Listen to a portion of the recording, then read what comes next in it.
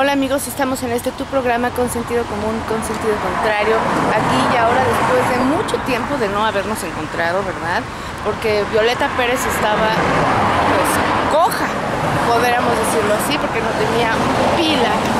Pero ahora estamos estrenando y bueno, pues hoy estamos aquí a punto de entrar a mi clase consentida, un curso de milagros, un curso obligatorio. Solo el momento que decirles to good day.